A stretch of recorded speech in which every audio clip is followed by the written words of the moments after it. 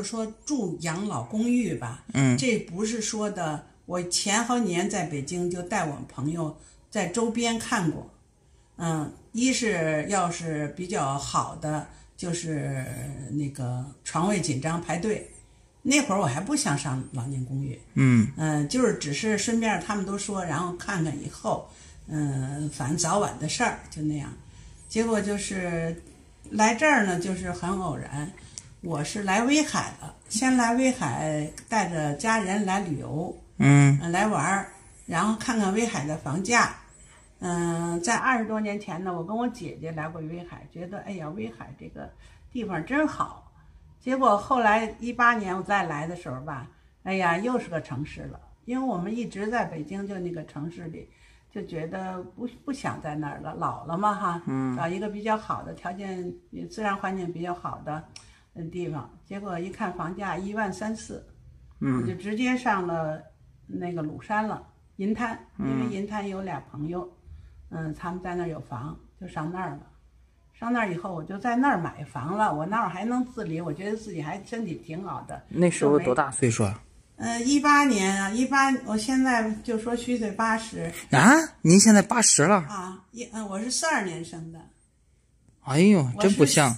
我是四二年生的，我但是身份证弄错了，是四三年。嗯嗯嗯，那会儿还没想上养老，嗯结果就在银滩买房了。嗯嗯，也挺好的。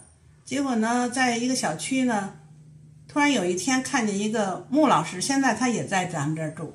嗯嗯、他就说他，我第一次见他，他就说，哎，我想上那个老年公寓，他说我想找一半儿。我当时就说，那我跟您去吧。嗯我也没考虑，因为其实我房子刚买好，我也装修好了，也没怎么住呢，等于是。嗯哎，说来就来了，来了，我一看这儿挺好，得很简单，很就就是没有目的性的，嗯就巧合住下了。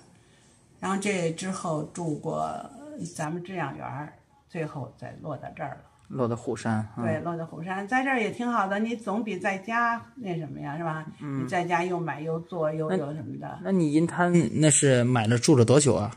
没住多少。你想我，我是七月份七就八月份买的房，然后我十一月九号到的咱们湖咱们你你这就是买了新房，一共住了三个月就没住。都没都是基本没怎么住，真是没怎么住，就是家人来这玩儿。后来来这儿以后呢，我觉得这儿比那个自己住要好啊。嗯啊，而且年龄段差不多都是这个年龄段的，然后这儿的条件方方面面挺好的呀。我北京的房因为卖了，所以我也有条件，一到这儿买房也觉得便宜，在这儿买一卡呢，住着又方便，这不是就安排了吗？啊你把你把家里北京的房子卖了。卖了，要不我哪有条件买买那房啊？嗯 一到一到那个银滩，一说那房价，其实我那会儿买的最高，那房价高，但是自己感觉从北京来，那个房价在简直太便宜了，所以就就就就这么一个巧合，跟穆老师就来了。住了三个月的一个新房不住了，然后来了养老院，来了之后，然后你就决定在养老院住了，是什么东西触动了你？是还是什么？我这人吧，因为第一，当时穆老师他也岁数比我大，嗯，其实虽然不认识，但是我现在回想起来，我都不知道我怎么就说我跟你我陪您吧，嗯呃，都觉得是我自己想不通。但是呢，一到养一到这老年公寓呢，反正来了，哎，一看环境啊、条件呀、挺好的，在这儿生活也很方便。我就我这人办事儿吧，我不是嗯、前思后想，顾虑这顾虑那，就简简单单的，嗯，反正有这个条件就利用了。然后就决定，当时就决定就在那儿住。到现在都不回去因他那个房子在那空的。啊，就空着。这不疫情，疫情期间朋友亲戚都不能来嘛。嗯开始没有疫情的时候，前两年还能，他们有时候谁爱过来住谁过来住。现在这一直就空着吧，空嗯着卖也卖不出去。现在那房价现在那么低，起码得赔一半儿。我也没着急买，赶上了，无所谓是吧？嗯，对。那您现在的话，就是一八年的时候在这儿住，然后现在是二零二二年，现在快四年了，啊，对。住了快四年了，呀。是啊，很快呀，一换四年了，而且这中间我就逐步决定，我就嗯住老年公寓了，一直到最后。嗯嗯，开启开始前期没什么想法，嗯我要怎么怎么，因为我那会儿身体挺好的，呃，什么到处旅游啊玩啊，啊，现在呢就是哎住到这儿了，随着就有想法，我就在这儿安定了，嗯，可以您现在的身体也挺好了。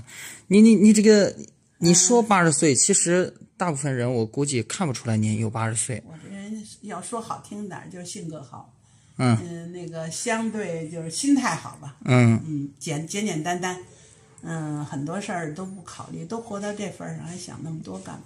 嗯，八十岁有您这身体，有您这心态，可以。心态吧，这一是看性格，另外你看悟到好多东西，你应该明白的是吧？